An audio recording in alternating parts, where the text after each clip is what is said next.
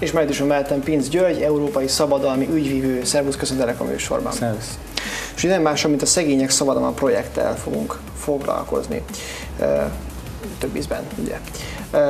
Mi egész pontosan ez? Kiknek ad ez segítséget?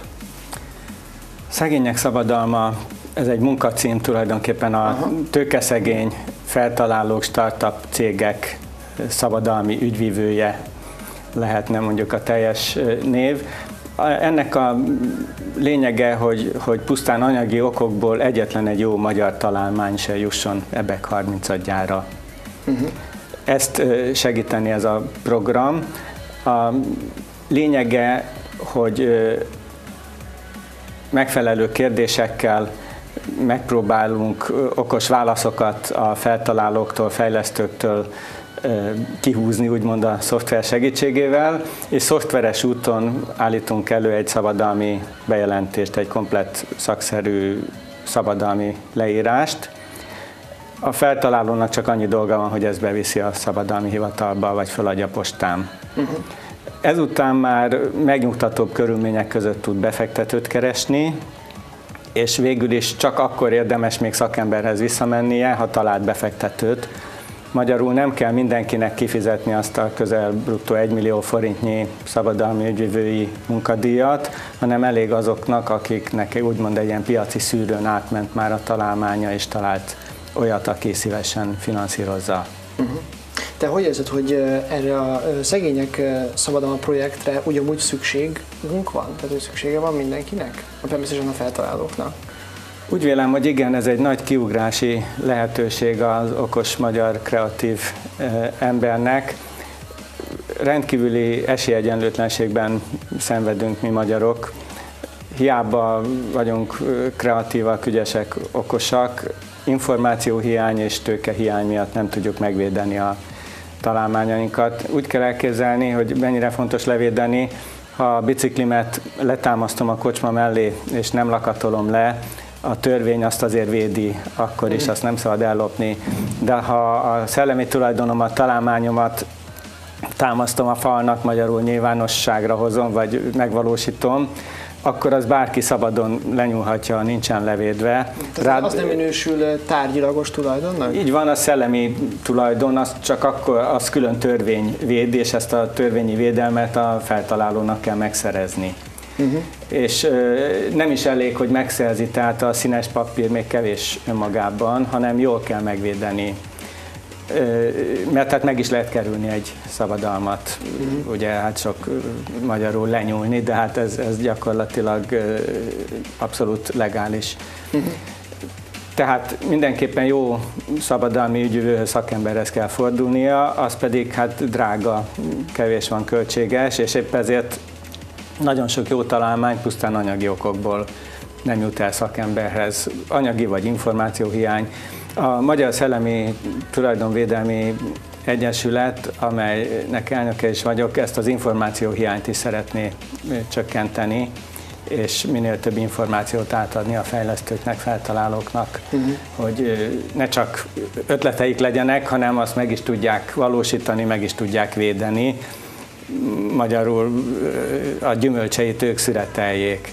Most pillanatnyilag az a helyzet Magyarországon, hiába kapjuk az EU-ból a fejlesztési pénzeket, úgy kell elképzelni, mintha a facsemetéket kapnánk, azt elültetjük, öntözzük, ugye a magyar, jó magyar anyaföld is segít, és utána a gyümölcseit pedig nem mi szüreteljük, hanem bárki szüretelheti, mert EU versenytársak általában ügyesebbek, tájékozottabbak, és esetleg ők születelik. Tehát magyarul visszamegy a fejlesztési pénz oda, ahova kaptuk, és ez, ebbe semmiféle ármánykodás nincsen, ez, ez pusztán a, a feltalálók információ és tőke hiánya miatt van így, hogy, hogy a védelemre nem szánnak.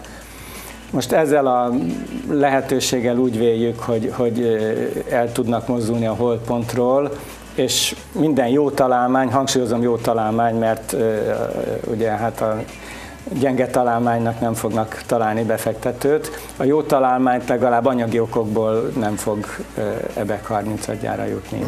Egy érdekes kérdés fogalmazódott meg bennem, kicsit elkanyarodva, de azért mégis a témánál maradva, ugye visszatérve a szellemi tulajdon és a, és a bringa esetével, hogyha ja, azt mondta, hogy az a szellemi uh, tulajdon ugye le van védve, akkor azt senki el nem lophatja, és ugye nem mondhatja magáénak. Tehát teszem azt, hogy ha ez a találmány valakinek a fejében van, és nem olyan nagy volumenű dolog, el is készíti, és azt, és, de nem védi le, és azt valaki ellopja, és el akarja adni sajátjának, akkor ilyenkor mi a, a, a helyes jogi út? Tehát az eredeti feltalálónak valahogy bizonyítania kell, hogy de hát ez, ez az én munkám, vagy ez hogy néz ki? Tulajdonképpen itt, itt érintettük úgymond a személyhez fűződő jogokat, Igen. meg a vagyoni értékű jogokat. Tehát a személyhez fűződő jog nyilván senki nem állíthatja, hogy ő talált fel valamit, amit más talált fel. Ez a személyhez fűződő jog, de ez végül is csak a dicsőség. A tényleges, a szabadalom, az oltalom, az, anya, az a vagyoni értékű jog, tehát ha bárhol meglátok egy ötletet, ha az nincs levédve, azt én is szabadon megvalósíthatom és, és átadhatom. Nyilván nem szolgai másolással, vagy egyéb törvényeket nem súrolva, de egyébként a szellemi tulajdon az végül is közkincs, hogyha nyilvánosságra jutott, és külön oltalom nem védi. Uh-huh. Visszatérve ugye egészen pontosan rátok is ugye egyáltalán a feltalálókhoz és a találmányokhoz, ti ha esetleg tudsz valami statisztikát, akkor kérlek mond, hogy mondjuk itt Magyarországon éves szinten hány emberrel foglalkoztok úgymond? Hát nagyon kevéssel. Mondjuk az irodám elsősorban külföldieket Persze. képvisel magyarok hiány. Az Audit képviseljük például és számos neves céget. Magyarországon múlt évben 619 szabadalmi bejelentés uh-huh. született, ami 50 éves mélypontot jelent, és azt jelzi, hogy a magyar innovációvédelemben valami probléma van, mert nem tudja megvédeni magát. Ugyanez a szám az ötször nagyobb Koreában 220 ezer, tehát ha felszorozzuk a 600-at, mint a 3000 aránylik a 220 ezerhez, és nem hinném, hogy a koreaiak kreatívabbak vagy okosabbak lennének a magyar feltalálóknál. Tehát itt valami bozasztó nagy hiány és, és rendszer problémák is vannak, hogy nem tudjuk megvédeni a, a ötleteinket. A, azt tudnám mondani, hogy, hogy a számokon is javítani kell, így a becsléseink szerint egy olyan 3500 éves szabadalmi bejelentési mennyiséggel lehetne úgy megvédeni.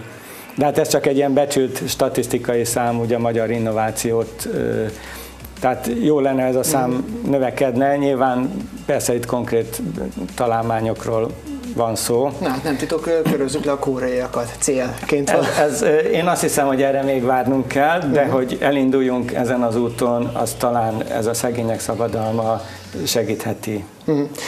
Zárásként, és akkor ugye a szegények szabadalma projektnél maradva, hogyha valaki ezt szeretne csatlakozni, illetve erre szüksége van, vagy szeretne társulni ehhez, akkor annak mi a teendője? Mi a folyamat? A szegények szabadalma elérhető díjazásért is, de ingyenesen a Magyar Szellemi Tulajdonvédelmi Egyesület mste.com a weblapja ingyenesen nyújtja a pártoló tagjainak ezt a elérhetőséget. A pártolótagság díja meg havi egy villamosjegynek megfelelő jelképes díj, tehát tulajdonképpen az is ingyenesnek tekinthető. Tehát, tehát be kell formálisan lépnie pártolótagként az Egyesületbe, ezt online pillanatok alatt megteheti, és utána kap egy hozzáférési kódot a szoftveres felülethez a fejlesztő, feltaláló, és akkor éri el ezt a szolgáltatást.